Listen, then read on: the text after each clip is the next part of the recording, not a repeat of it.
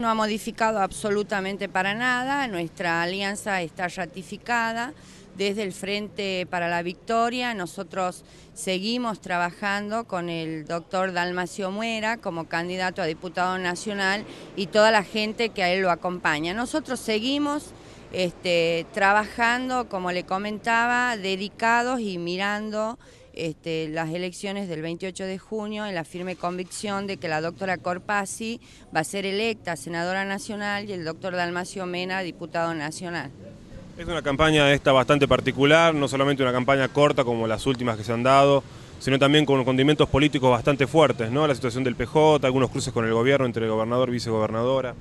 Sí, así es, es una campaña atípica por ambas cosas. Creo que la, cosa más particular es este, este poco tiempo para, trabajar y esto, este ingrediente de la situación del PJ, que bueno, nosotros estamos muy expectantes y escuchando lo que dice en definitiva el interventor. ¿Qué opina de las declaraciones del gobernador? Bueno, me parece que, son fuertes. La doctora Corpasi no está en ánimo de la doctora Corpasi ni en ninguno de nosotros este, hacer proselitismo con los niños.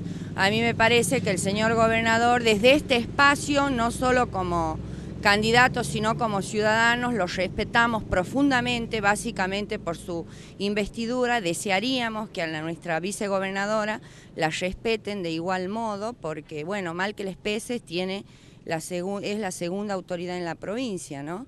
Entonces me parece que el señor gobernador este, han sido bastante fuertes sus declaraciones, no está en ánimo de la doctora, vuelvo a reiterar, ni de ninguno de nosotros a hacer proselitismo, mucho menos con menores.